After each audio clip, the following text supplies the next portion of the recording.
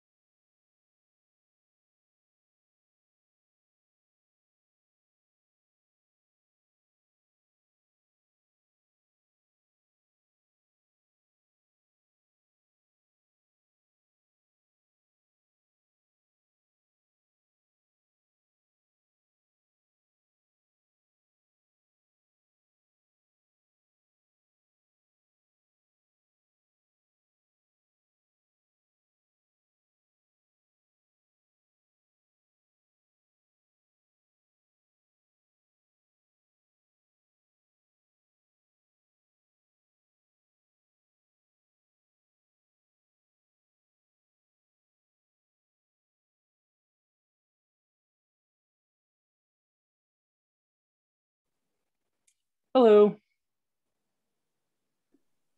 Hi, how's it going? Doing well. How are you?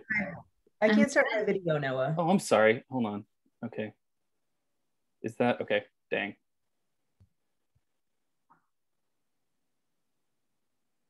Um, I can't start my video. Yeah, I'm, I'm fixing it. I'm sorry. Got it, got it, got it. No, you're I, good. I keep forgetting that making you a panelist doesn't mean. Try now. Sorry about that. No, you're fine. Uh, can I? So, uh, how do you pronounce your name? I don't want to. Sarafina. Sarafina. Okay. Yes. Cool. Um, all right. Uh, so I'm just gonna do like a quick little introduction, and then you can take it away. And then at some point, we'll uh, I'll we'll prompt everybody to ask questions through the Q and A, and then I'll try to uh, funnel them toward you whenever you're done. Awesome. Sounds Cool. good. Awesome. Let's see.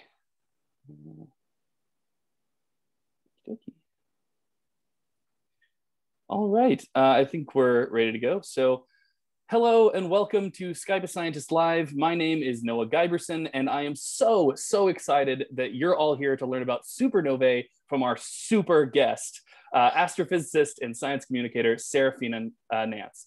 Before I hand it over uh, to Sarafina, I'd like to mention that Skype a Scientist is a nonprofit organization that aims to bring science to as many people as possible, as much as humanly possible. If you'd like to support our program, you can do so at patreon.com slash Skype a Scientist or at paypal.me slash Skype a Scientist. If you have any questions for Sarafina, please put them in the Q&A section below. And with that, Sarafina, would you like to tell us a little bit about yourself and your work? Sure, I would love to. Thank you so much for having me. I'm so excited to be here. Um, so I guess I'll just give a little bit of um, background about me and how I got into astronomy and um, very much want to, you know, have this be as interactive as possible. So if you have questions, please feel free to ask me and um, I'm excited to, to answer them. So about me, I um, grew up in Austin, Texas, and I fell in love with astronomy and the stars when I was like four years old. Um, I used to stargaze with my dad every night, and I would listen to Stardate radio with my mom on the way to school. And just from a really early age, I knew that I wanted to devote my life to the stars, basically. So I took an astronomy class in high school and really fell in love with it and decided to continue that in college where I double majored in physics and astronomy at UT Austin. And um, that's when I fell in love with supernova. So my advisor, my college advisor, studied supernova and introduced me to the world of research and to um, sort of these incredible stellar explosions that occur in the night sky um, one supernova occurs every second somewhere in our universe. And so um, I got really excited about being able to see and study these events that um, happen all the time and are literally stars exploding. And from st- stellar explosions, we can learn some of the most fundamental aspects of our universe, like how fast the universe is expanding and how that is changing with time and what is the composition of our universe. So, really, these fundamental questions that I thought were fascinating. And um, so while I was at UT, I did research with him. I did a bunch of simulations specifically on the star Betelgeuse to try to determine when it will explode. And um, I also got into science communication. So I worked at the McDonald Observatory um, when I was there, which is basically this huge observatory in West Texas where it's some of the darkest skies in the continental US. And um, we get to actually see the Milky Way galaxy. We get to see our home galaxy stretching out across the night sky and I got to talk to people about my love for space, which was really a dream. So um, after college, I came to Berkeley to do um, research on supernova. So I work here now as a PhD candidate. Um, I will hopefully be graduating next summer. And um, then the world, the universe is kind of my oyster. We'll see what happens, but I'm I'm really excited to uh, to be here and, and share that love of the stars with everyone. That is very, very cool. And uh, I am very excited that you're here with us to share that because I'm sure everyone here has lots and lots of questions um, about stars and astronomy in general, astrophysics. So um, just uh, uh, to remind everyone, if you have any questions for Sarafina, please put them in the Q&A uh, below and we'll try to get as many of them asked as possible. Um, Sarafina, are you ready for some questions? I'm ready. Let's do it. Well, some of the first ones we have are, uh, let's see, uh, what do supernovas look like?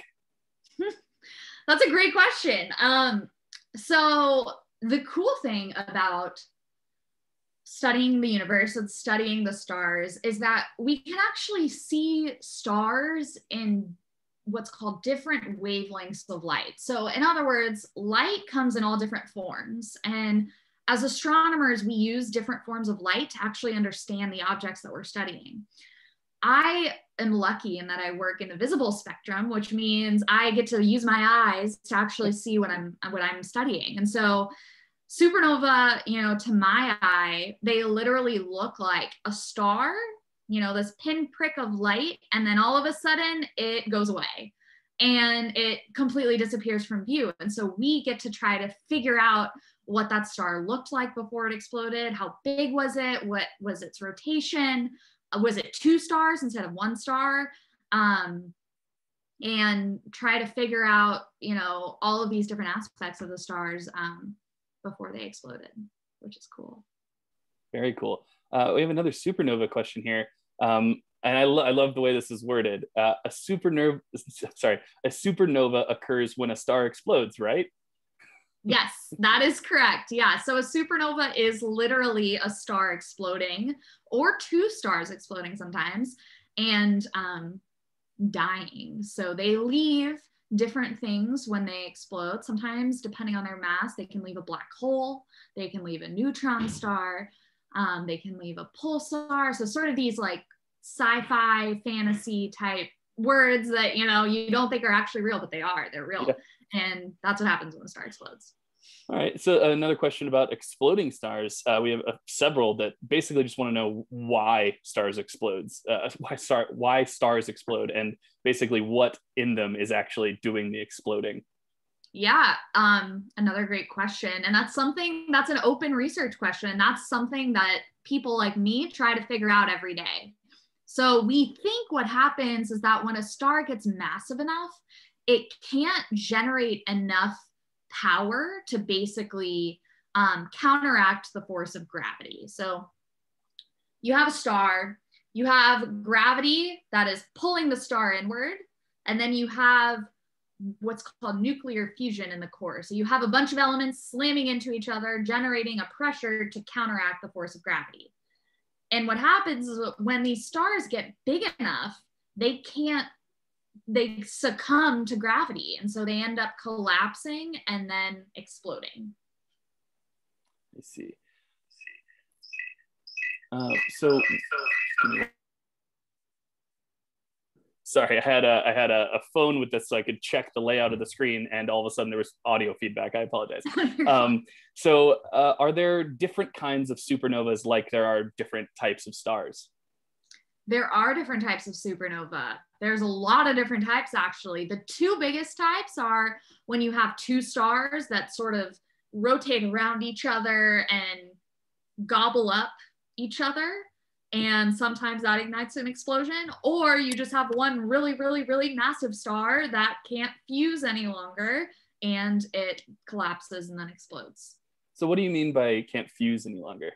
Yeah. So, stars live by having nuclear fusion in their core. So basically, that's the life force of a star is when these elements slam together and then generate light, which streams outward out of the star and then reaches our eyes here on Earth and our telescopes here on Earth.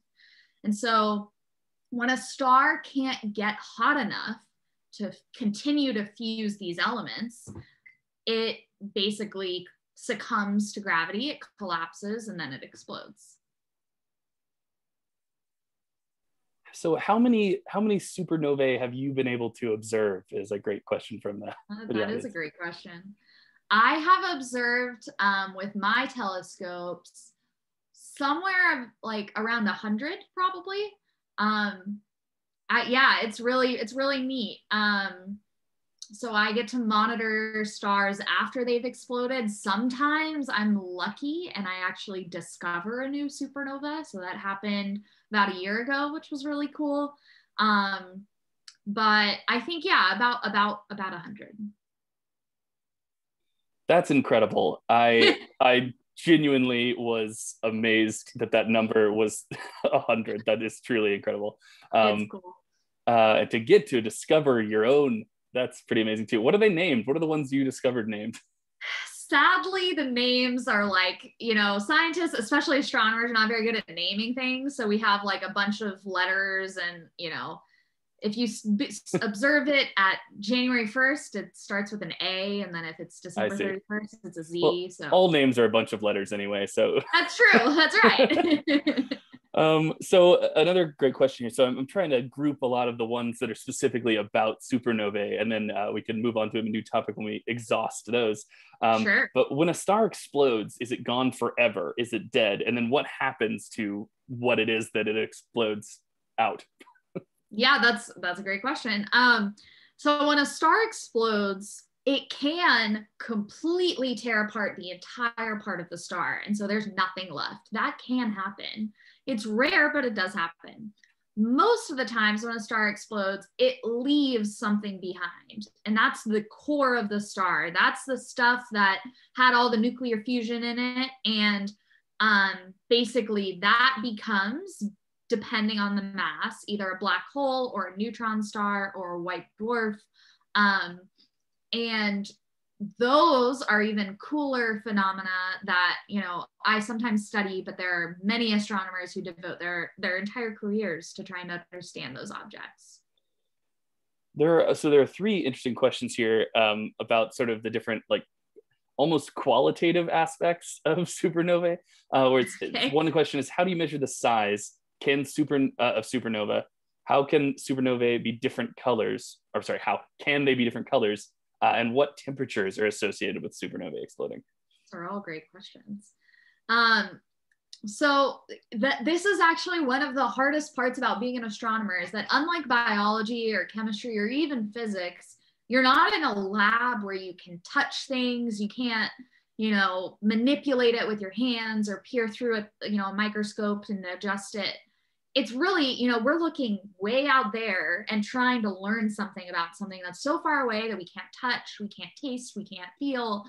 And so that makes astronomy really challenging. And it means that we as astronomers have to be really clever with how we come up with ways to actually find out about these objects.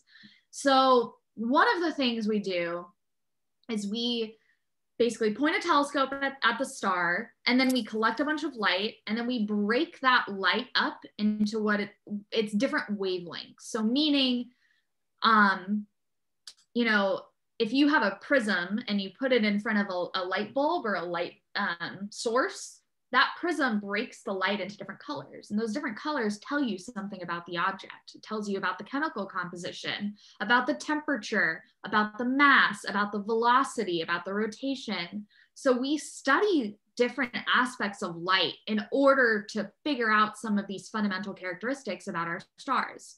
So that's sort of the observational perspective. From a theory perspective, which I also do some theory work, I basically simulate supernova. So I, you know, code a bunch and I try to model some of the characteristics that we see with our telescopes and match them up with my models.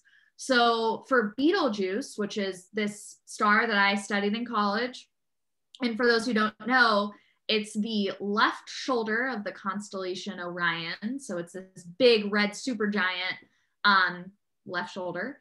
And um, we basically look at the star and then we run a bunch of models and we try to match up what our models show with the observations of Betelgeuse.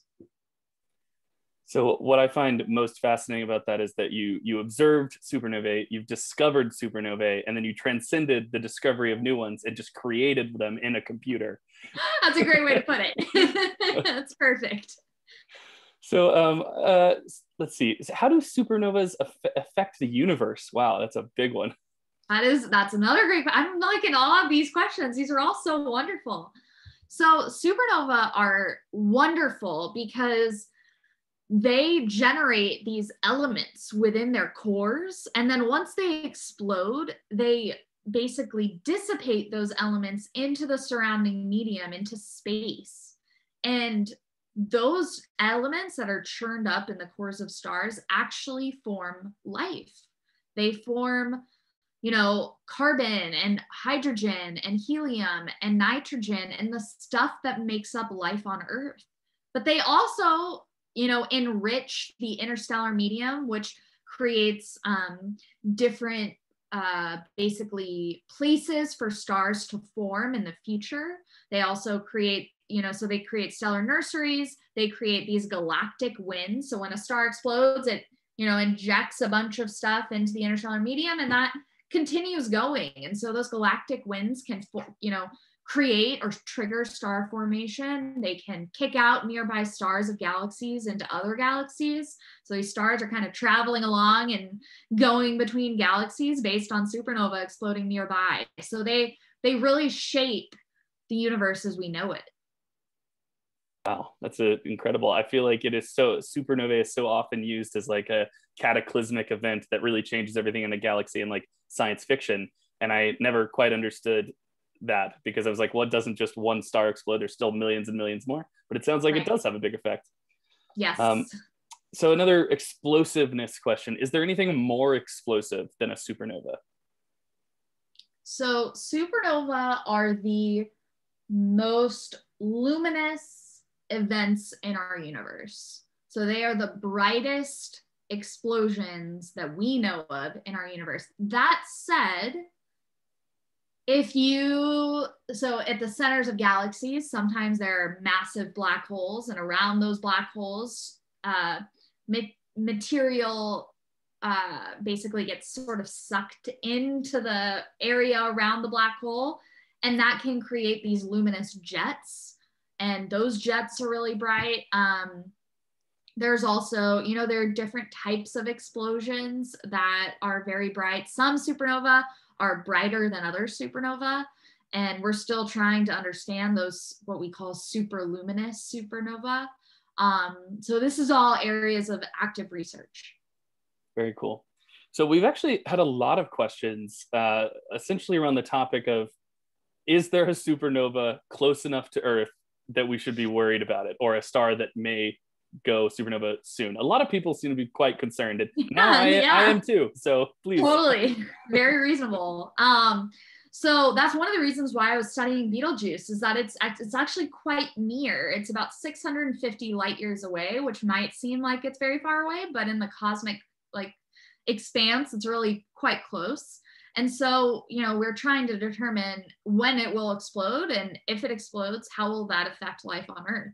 And the good news is that a, it's pro well, good and bad news. It's probably not going to explode anytime soon, probably another hundred thousand years or so. Um, but when it does explode, it'll get very bright. We'll be able to see it here on Earth, but it won't affect life on Earth. So the radiation won't cause damage. We won't be, you know, at any sort of um, in any sort of danger. And that's probably one of the most um, the closest stars that we are concerned about uh, in terms of exploding. So um, right now we're not uh, particularly concerned about any nearby stars going off, but I will be sure to let you know if we do. Okay, thank you. Thank you for letting us know.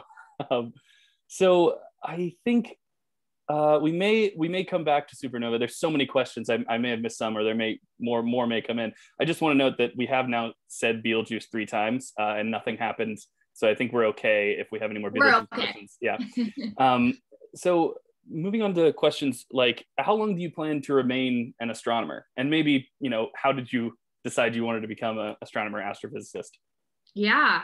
Um, well, like I said before, you know, I I fell in love with the stars at a very young age and I thought I have to do something with space, you know, whether it's becoming an astronaut or a researcher or you know, an aerospace engineer. I, I just have to do something that is associated with space. And so, you know, over the last decade really i've i've been doing research actively and and i've been an astrophysicist or an astronomer which for the record are sort of synonymous um, and i think i will be doing something with space for the rest of my life in terms of doing you know being in academia and being an astrophysicist i'm not sure as of right now, I think I will probably go into the space sector more generally um, rather than stay in academia.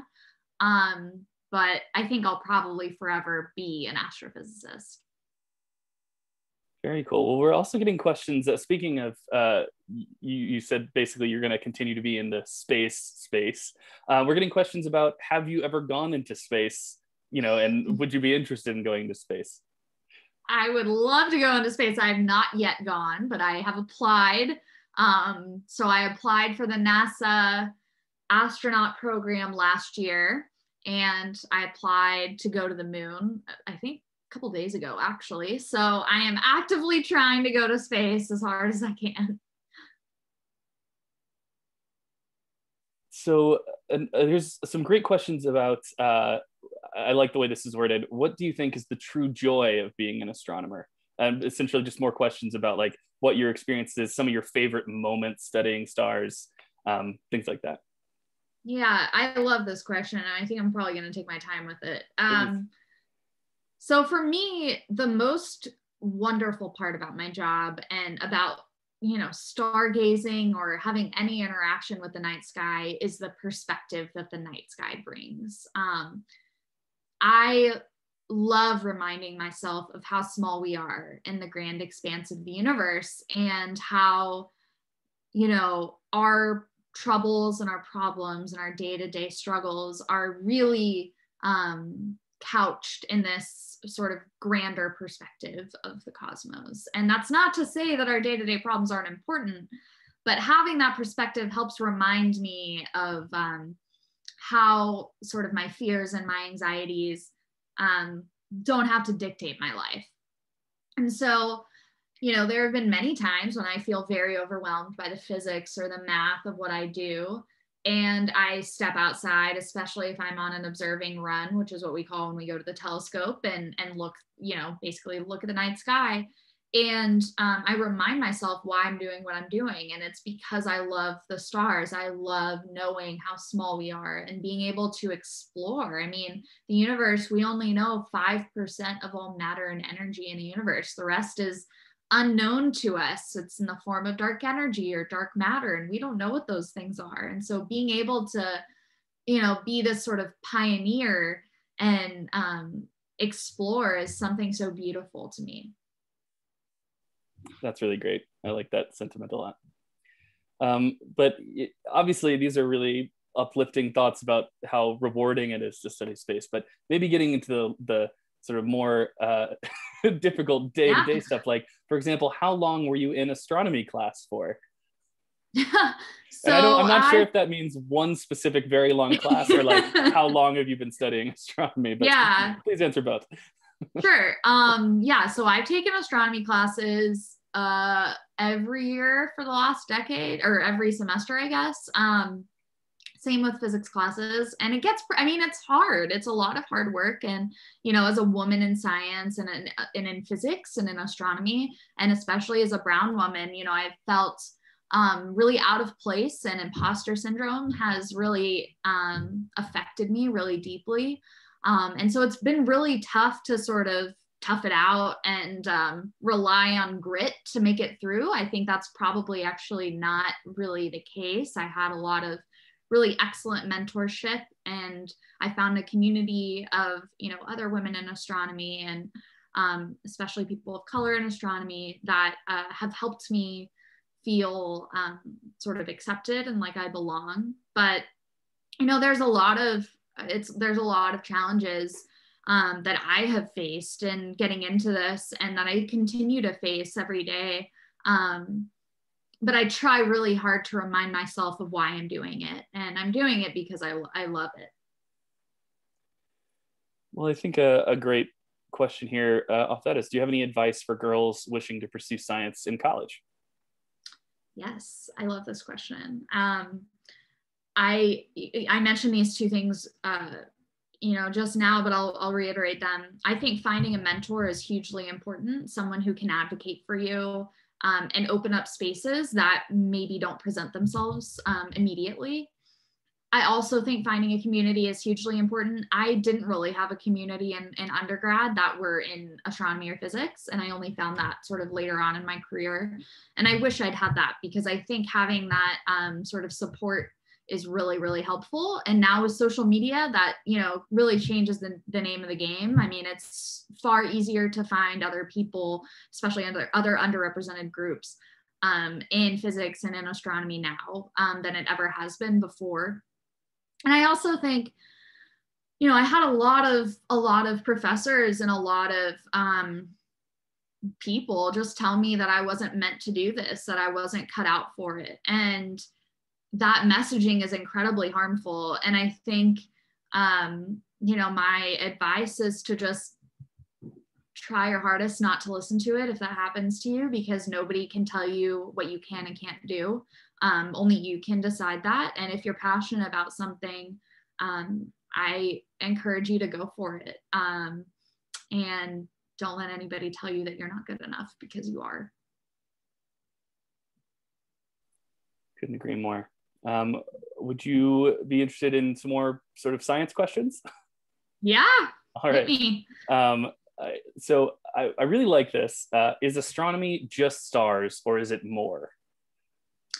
That's a good question. Astronomy is more. It is everything in our universe. It is planets, it's asteroids, it's comets, it's the sun, it's stars, it's galaxies, and you know, all of these other cool things that make up the universe. It's also, you know, the beginning of the universe, the end of the universe, the composition of the universe.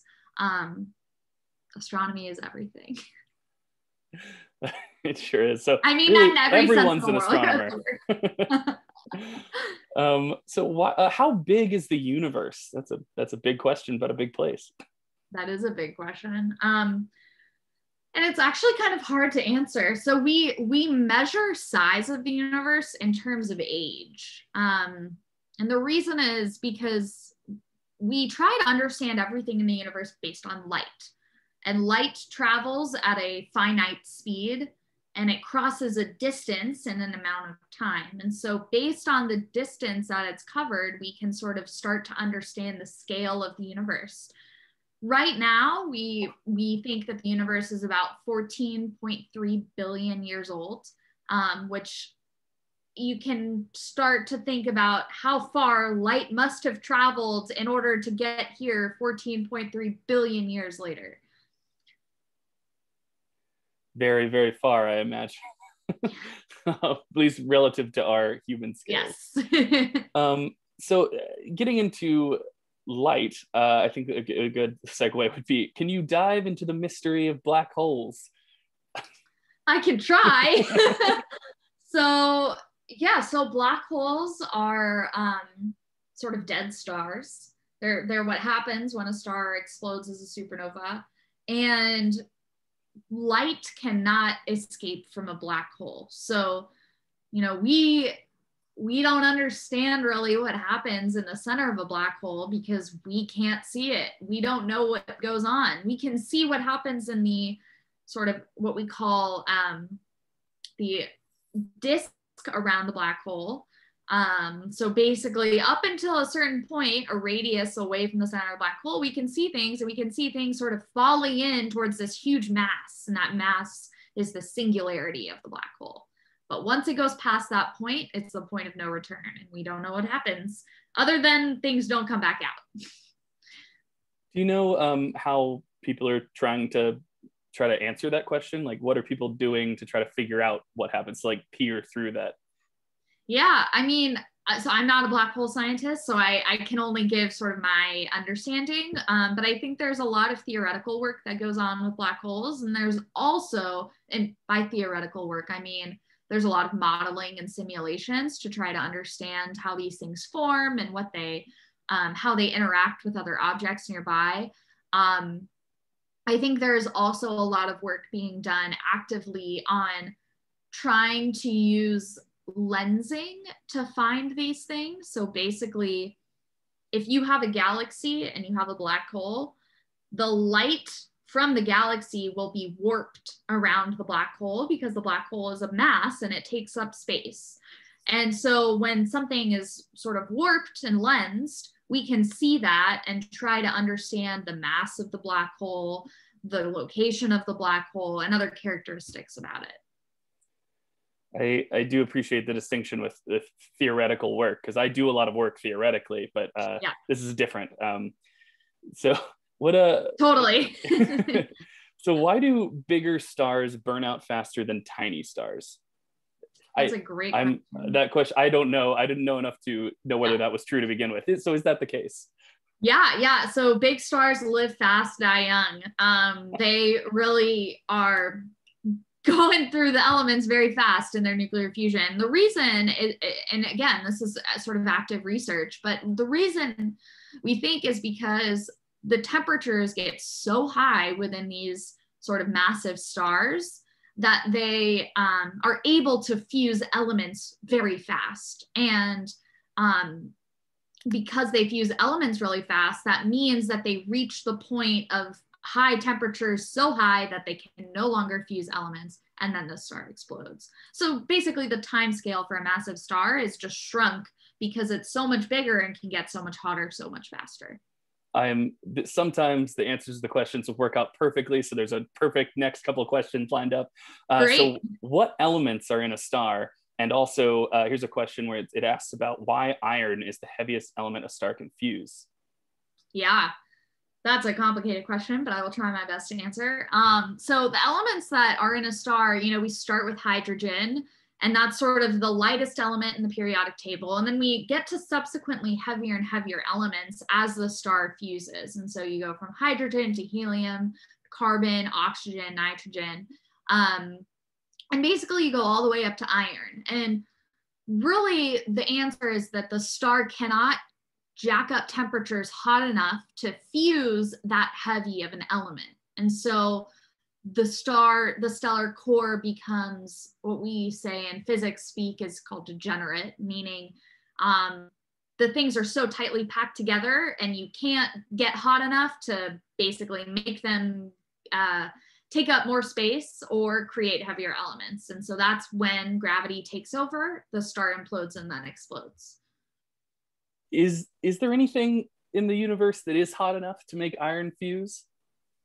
Yeah, so when you have these sort of binary star systems, if you have binary neutron stars or binary black holes or a neutron star and a black hole, um, these are the systems that LIGO uh, studies. So, sort of these gravitational wave events that have been really, really exciting over the last couple of years have picked up these mergers and in these binary neutron star mergers specifically, you actually get to form the heaviest elements of our universe gold.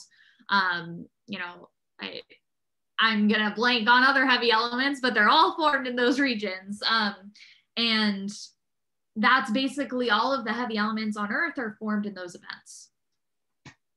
So uh, I want to break up um, a series of many intense sort of nuclear fusion re- related questions with uh, do you have a favorite constellation and is it a separate one what are the five biggest stars you know biggest stars i know. Oh boy. Um right. Yeah that's gonna be an embarrassing you, answer. you could do um, you could do five favorite stars if you want.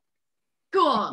Well my favorite constellation is orion. Um I, you know, I studied Betelgeuse for four years in college and a couple years in, in grad school. So that's that constellation is like printed in my in my brain. Um, and I love it because you can see it. I mean, you can go outside, you can see Orion, and you can see Betelgeuse being really bright and red. Um, over the last year, it had something really exciting happen where it got really faint, and we thought maybe it was about to explode. Um, turns out the star just burped, and that light from the star was being obscured by the by the burp. Um, so you know, I really like Orion. In terms of my five favorite stars, you know, this is going to be sort of a lame answer, but I think the sun has to be one of them. Sun is a star, and you know, it it allows life on Earth to exist. Um, Betelgeuse, real real hometown crowd. I know, I know. Um, yeah, it's almost a dad joke, but it's not quite there. Um, but yeah, I think Betelgeuse, of course. Um, mm, Sirius A and B are really cool.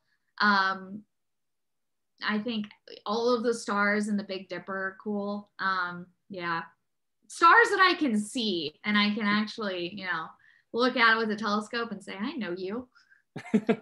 well, speaking of stars you can see and roping back in supernova again, um, there's a great question here about uh, is a supernova the biggest explosion that humans have ever seen with their own two eyes, I guess. But also, I I think uh, there's more questions about here. Uh, like, what is the biggest supernova explosion that humans have ever witnessed, like on Earth? Like, have we ever? Yeah. Could we just look up and be like, "Wow, that was really bright"?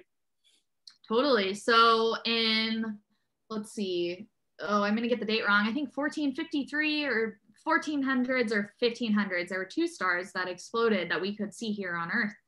Um, one of them is Kepler's supernova, and one of them is um, Brahe's supernova.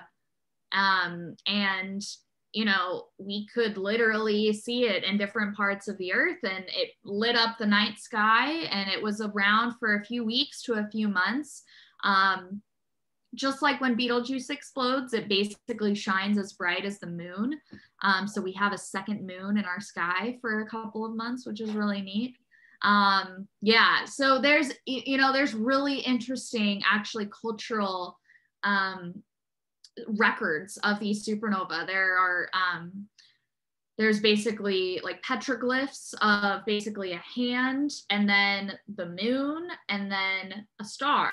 And the hand is there to show scale and it shows the crescent moon and then it shows the star that exploded, which is really neat. So, you know, humans have kept records of this for, for centuries. So it look so you're saying it wasn't just like a pinpoint that was bright enough. It looked similar in size to the moon. Yes. That's wild. I did not realize that. Yeah. That is very yeah. great. Um, well, here's a question, uh, sort of zooming out again uh, about the expansion of the universe. Will the universe ever stop expanding? And what will happen to the Milky Way? Will it ever go away? The Milky Way galaxy. Yeah, that's a great question. And it's also an area of active research. As of right now, we know that this stuff called dark energy is in our universe, and it basically is an invisible force that propels the expansion of the universe. And the expansion gets greater and greater with time. So, meaning it's accelerating. And based on that, it means that our universe will continue to accelerate forever and we will be plunged into sort of infinite darkness because the distance between stars will be so far that we'll be plunged into darkness. Um, that means that the Milky Way will be sort of taken apart um, as the universe continues to expand. But, you know, this is on the order of billions and billions and billions of years from now. So, not something we should be worrying about imminently. No. so I've got, speaking of uh, imminent explosions, um, the, there's a few questions here that are noting that recently there was some uh, excitement about Betelgeuse potentially exploding uh, soon, or uh, and people asking about uh, this actually question from Robert Frawley here. Didn't Betelgeuse like flicker this year? What was that, and what happened to planets and stars around it? And I just want to note that Robert Frawley uh, is a uh, person who works at BioBus, which is an organization that teaches science to kids. And so I have a feeling this Cool. question is going to get uh, worked into uh, the the curriculum uh, for Rob there. So help Rob out. awesome. Yeah, I would, lo- I would love to help out. Um, so yeah, so Betelgeuse flickered. It basically got much dimmer very fast and continued to dim. And then all of a sudden it started brightening again. And so there were lots of questions being thrown around as to whether that dimming was a harbinger of an explosion. And really, the answer is no. What we think happened is that Betelgeuse has a bunch of turbulence as it gets older. And so these massive stars, that's very, very common. There's matter being thrown off, it's rotating really fast, there's convection within the interior of the star. And Betelgeuse, what we think happened, burped up a bunch of matter. It expelled some matter, and that matter literally um, blocked some of the light that Betelgeuse was emitting from actually reaching our eyes. And so it looked, you know, very physically dimmer to us. But then once that light um, actually made it through the cloud of dust and that cloud sort of dissipated or, you know, went into the interstellar medium, um, we were able to see the light again and saw that it was, you know, happy and healthy and just, you know, still chugging along. so we think that it, you know, still probably has another hundred thousand years or so before it explodes. Darn. Um, here's a, a question that truly my brain is not quite big enough to comprehend. Um, so this question not only asks, are there supernovae in other galaxies, but are there supernovae in other universes? Are there other universes? Ooh, yeah, this is a good question. Um, you know, all of this is very theoretical. We talk about the concept of multiverses as being an option. Um, one of my favorite theories is sort of this soap bubble theory where you know we have a bunch of soap bubbles that are representative of universes and sometimes they touch. And so if you ever experience deja vu it could be that your, your soap bubble is touching another soap bubble. I think it's probably unlikely but you know there are a lot of a lot of theories out there. Um but yeah i mean theoretically if you have another universe that you know has massive stars that could explode a supernova we really we have no idea. It's really the answer I, I could have sworn I've heard that answer before. Um, maybe it's a soap bubble touching another one, but uh, so so um, can a star's energy be restored once it has died out? And there are a few other questions that have to do with like uh, that ask that use the term like a cycle of of stars exploding and then uh, using the word reforming. So what is there some sort of like stellar explosion and reforming cycle, or is it just once it explodes, it's gone? Yeah. Um, so a star can um, explode and then reignite fusion on its surface. And that happens if you have another star nearby. So if you have a sort of this binary system and a star explodes, leaves a white dwarf, well, if the sort of companion star accretes matter, meaning shares matter onto the surface of that star, sometimes it can get hot enough to sort of ignite fusion and potentially fuel for a, quite a bit of time longer and then explode again. So the sort of dynamics at play when you have other stars in the picture is really interesting and again is an active area of research. Ooh, this is a great one. So there's of course there's been a, a lot of interest in your uh, application to go to the moon and uh, oh, desire oh, yeah. to go to space. So this is a really cool one. Um, so let's say astronauts are able to someday we're able to travel in space and like go you know star trek style go study a supernova. What are the safety precautions that you would have to have for astronauts to be able to like be close enough to a supernova to like study it there?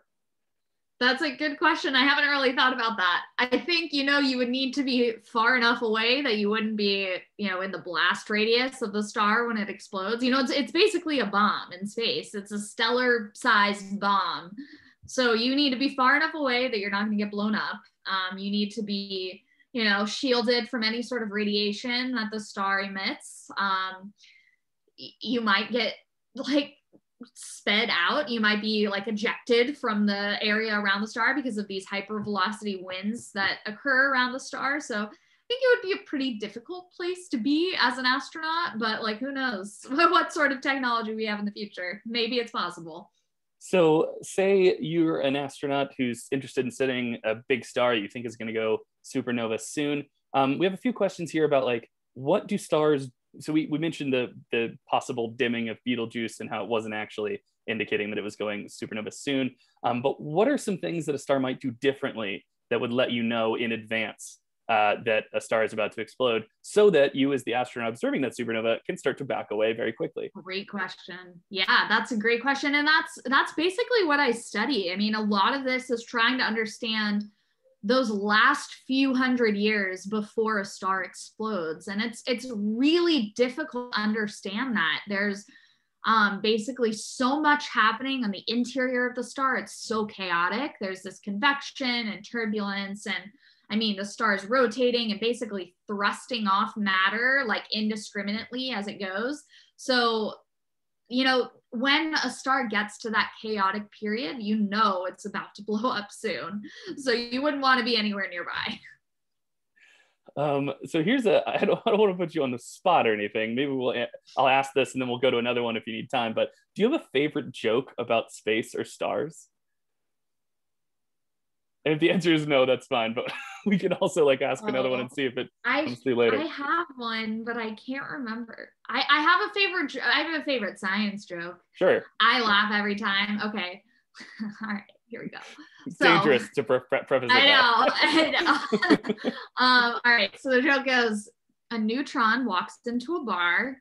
And he goes up to the to the bartender and asks for you know a, a drink, a water and and you know the bartender gives it to to the neutron and the neutron goes all right how much do i owe you and the bartender goes for you no charge that is good.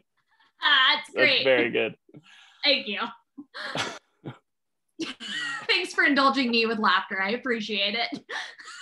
Um, I know um, it's so bad. It's good. That's really the only way to put it. Um, so then, you know, is there a positron also at the bar that says, really? No, no charge? Exactly. And he says, yeah, I'm positive. Nailed it. So I'm gonna just shuffle right along. Um, so here's a question about how has the COVID pandemic affected um, astronomy um, and I guess your ability to collect data and stuff like that? Yeah. The cool thing about being an astronomer, especially nowadays, is that everything I do is on my computer. Um, so, you know, when I observe at a telescope, I'm actually not looking through the telescope with my eye. I am hooking my computer up to the telescope, and then the telescope is collecting data, and I'm just, you know, analyzing the data on my laptop. So, really, that work can be done pretty much anywhere. What has been affected is basically the telescope support staff, the, the astronomer on site who helps basically make sure that you're not breaking the telescope. Um, and the telescope operator, like those people could not be on site. And so a lot of telescopes were closed for an amount of time during COVID. Um, that has reopened back up to some extent, but it's still um, sort of in between. I gotcha. Um, so getting back to this this question of the universe expanding, um, we have a great question here. What is it expanding into? Yeah, that's a good question. And the answer is it's not expanding into anything. Um, Ooh. yeah, so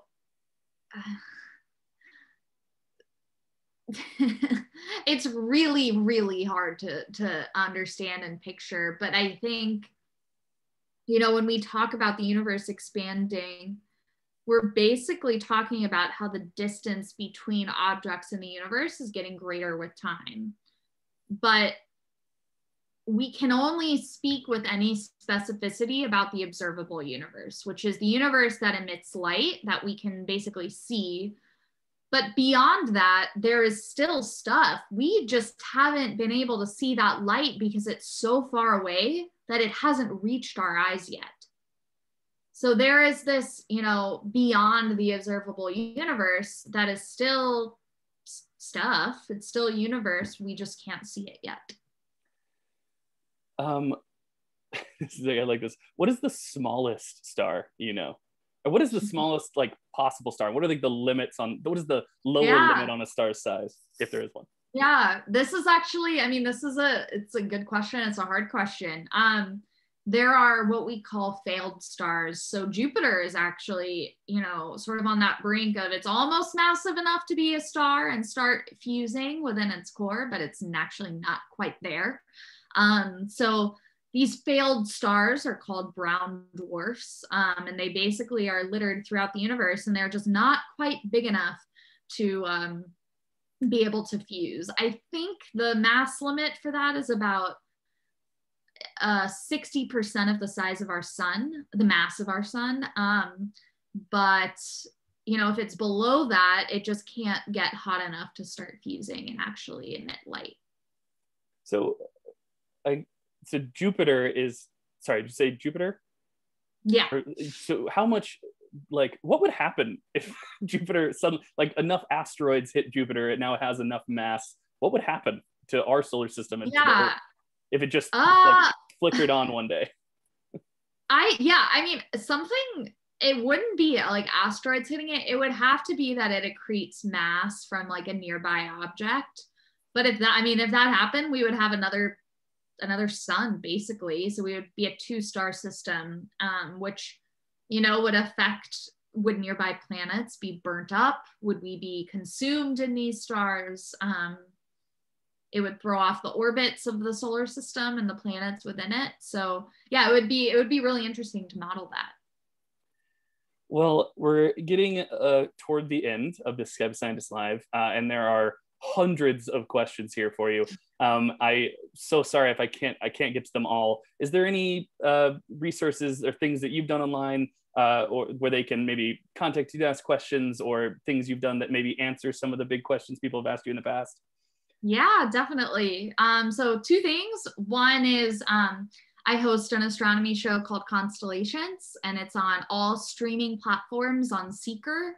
So it's on YouTube, Facebook, Instagram, and we basically talk about some of the most mind blowing parts of astronomy and the cultural implications of those sort of things. So that's really exciting. Highly recommend you check it out. Um, we have four more episodes coming out this season. So we're just sort of in the middle of the season. Um, and the other thing is, I just wrote a children's book about astronomy that is available for pre-order starting yesterday. So that's really exciting. Um, it's called little leonardo's fascinating world of astronomy. And i really like it both because i get to write about astronomy and you know i also pushed really hard to have representation be a really big aspect of this book. So you know seeing yourself as an astronomer i think is just as important as learning the facts about astronomy um, and I really hope that this book brings that to, to people. So um, you can buy it anywhere online by the end of the week. Right now, it's on Gibbs Smith as the publisher, and it's on their website right now. Um, but by the end of the week, all places you buy your books, it'll be available. Um, and then if you have questions directly for me, I'm on Twitter and Instagram at starstrickensf. Um, and I will do my best to answer questions, but hopefully those resources will be helpful. Amazing. Thank you so much. Can you can you one more time tell us the name of the book for those? Because I'm yes. certainly going to go get it. Yeah, yeah, I yeah. Hope, totally. I hope everyone well, here will too. yeah, me, me too. Um, it's called Little Leonardo's Fascinating World of Astronomy, or Little Leo for short. Um, so yeah, if you just look that up, you'll find it. Amazing. That's so exciting. So, um, you know, Sarah, the executive director of Skype Scientist couldn't be here today. That's why I'm here. But Sarah likes to wrap these up by with two last questions. Um, and they are, and I'll tell you both of them now so you can plan your uh, answer accordingly. Cool. You have everyone's attention in the world and you can tell them one thing about supernovae. What is it? That's number one. And number two, you still have everyone's attention in the entire world and you can tell them one thing about literally anything. It can be as big and important or as silly and small as you like. What would that be? I think the first thing about supernova, the most important thing, the most profound thing to me is that we are star stuff. Everything that you see, touch, feel, kiss, breathe is the stuff of stars. And that is churned up in the cores of these massive stars that explode as supernova.